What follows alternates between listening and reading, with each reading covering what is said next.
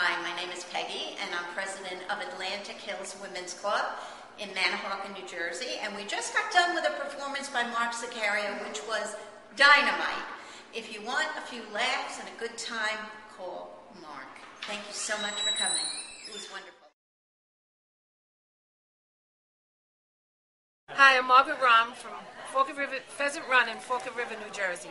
And Mark just completed his show for our residents, and it was excellent. Everybody enjoyed it, and I'm very happy that everyone liked it so much. They keep complimenting me that they.